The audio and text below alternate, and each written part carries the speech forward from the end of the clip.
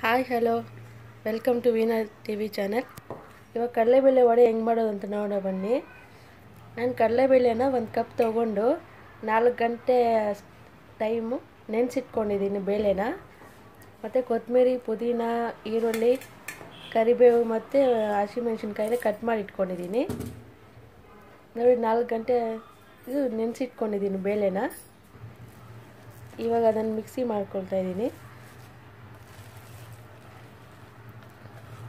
ತರಿ ತರಿಯಾಗಿ ಮಿಕ್ಸಿ ಮಾಡ್ಕೋಬೇಕು ಹಿಟ್ಟನ್ನ.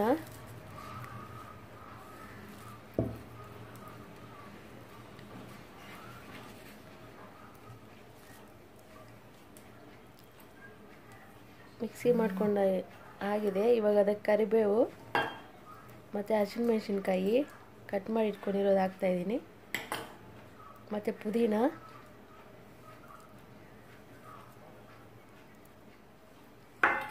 ಮತ್ತು ಕೊತ್ತಂಬರಿ ಸೊಪ್ಪು.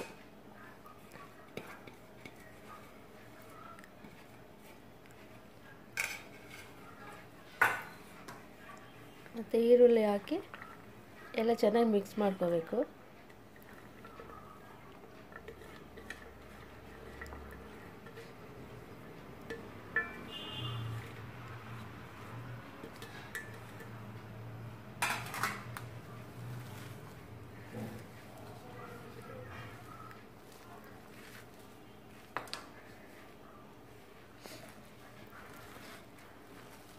ಎಲ್ಲ ನೀಟಾಗಿ ಮಿಕ್ಸ್ ಮಾಡ್ಕೋಬೇಕು.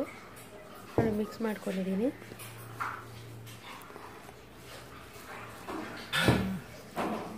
ಈ ರೀತಿ ಎಲ್ಲ ಮಿಕ್ಸ್ ಮಾಡಿಕೊಂಡು ನಾವು ಎಷ್ಟು ವಡೆ ಮಾಡ್ತೀವೋ ಅಷ್ಟು ಮಾತ್ರ ಇಟ್ಟು ತೊಗೊಂಡು ಮಿಕ್ಕಿದ್ದು ಡಬ್ಬದಲ್ಲಿ ಹಾಕಿ ಇಟ್ಕೊಂಡ್ರೆ ಒಂದು ವಾರ ಆದರೂ ಏನಾಗಲ್ಲ, ಚೆನ್ನಾಗಿರುತ್ತೆ.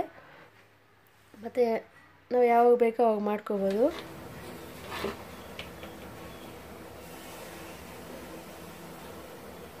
ನಾನು ಒಂದು ಅರ್ಧ ಚಮಚ ಅಷ್ಟು ಉಪ್ಪು ಹಾಕ್ತಾಯಿದ್ದೀನಿ ಮತ್ತು ಸೋಡಾ ಒಂದು ಚಿಟಿಕೆ ಅಷ್ಟು ಹಾಕ್ತಾಯಿದ್ದೀನಿ ಇಷ್ಟೇ.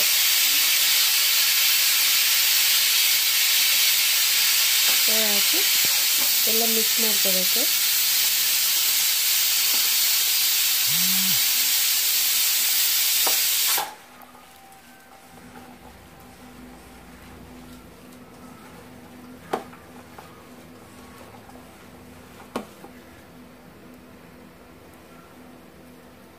ಎಲ್ಲ ಮಿಕ್ಸ್ ಮಾಡಿಕೊಂಡು ಸ್ಟವ್ ಆನ್ ಮಾಡಿ ಫ್ಯಾನ್ ಇಟ್ಟು ಆಯಿಲ್ ಹಾಕಿ ವಡೆನ ತಟ್ಟಿ ಹಾಕಬೇಕು.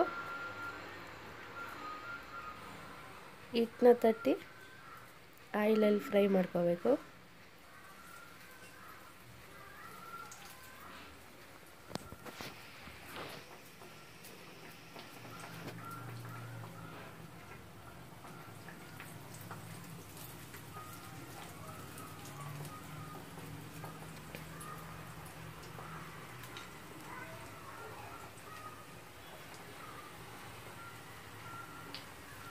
ಈ ರೀತಿ ಒಂದೊಂದನ್ನು ತಟ್ಟಿ ಹಾಕ್ಕೋಬೇಕು.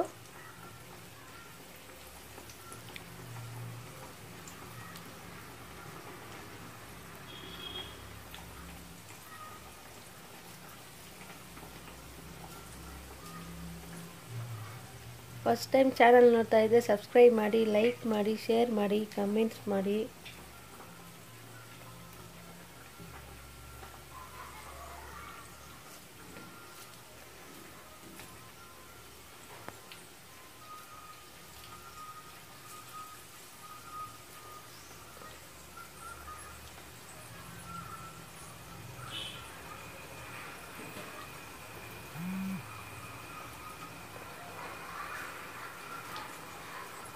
ಒಂದು ಕಡೆ ಫ್ರೈ ಆದಮೇಲೆ ಇನ್ನೊಂದು ಕಡೆ ತಿರ್ಸ್ಕೋಬೇಕು.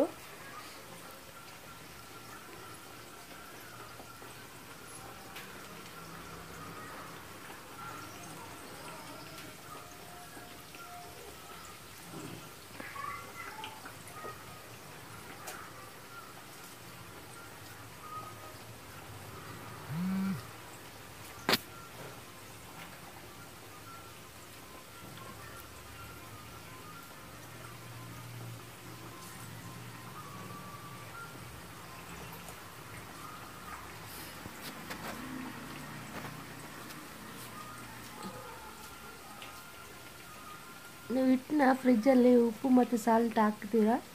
ಒಂದು ವಾರ ಇಟ್ಟು ಚೆನ್ನಾಗಿರುತ್ತೆ, ಯಾವಾಗ ಬೇಕಾದರೆ ಅವಾಗ ಮಾಡ್ಕೋಬೋದು. ನಾವು ಉಪ್ಪು ಮತ್ತು ಸಾಲ್ಟ್ ಹಾಕಿದ್ರೆ ಹಿಟ್ಟು ಇರಲ್ಲ, ಅದು ನೀರು ನೀರು ಥರ ಆಗೋಗುತ್ತೆ. ಚೆನ್ನಾಗಿರಲ್ಲ ನೋಡಿ, ಇವಾಗ ಫ್ರೈ ಆಗಿದೆ, ರೆಡಿ ಆಯಿತು ವಡೆ.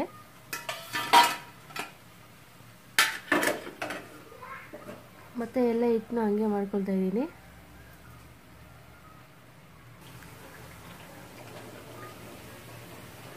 ಎಲ್ಲ ಫ್ರೈ ಆಯಿತು.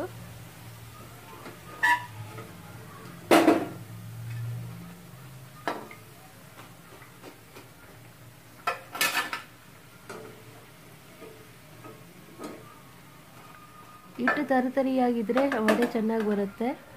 ನಿಮಗಾಗೋದ್ರೆ ಅದು ಬೋಂಡ ಥರ ಆಗೋಗುತ್ತೆ, ಆಮೇಲೆ ಟೇಸ್ಟು ಇರಲ್ಲ, ಚೆನ್ನಾಗಿರಲ್ಲ. ಈ ರೀತಿ ಮಾಡಿಕೊಂಡ್ರೆ ಟೇಸ್ಟಿಯಾಗಿರುತ್ತೆ